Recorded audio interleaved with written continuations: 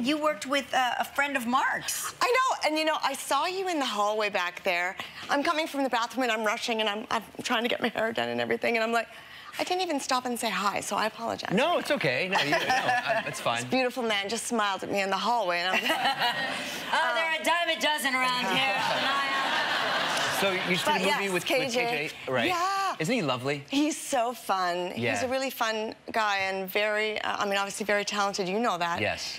And uh, and he's just a, a great, fun, happy spirit. You know he's a musician as well. Did you did you get to hear him play? And a great one, yeah. Yes, Yeah, yeah. because, yes, the film that we were doing, uh, he is a musician in the film.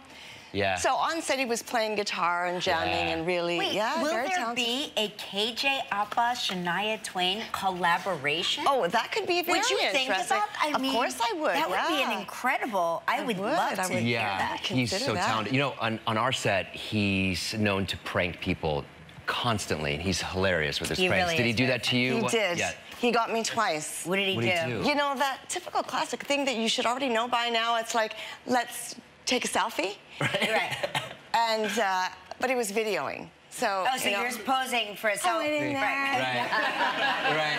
right. and, And then he uh, has that laugh when he, Of when he lets you course. in on it. Yeah. And then, then he comes back literally a minute later and does it again. It's- like this time it's for real. I, Yeah. I trusted him. You know? yeah. Right, of well, he's a course, right. yeah, you, he has that face.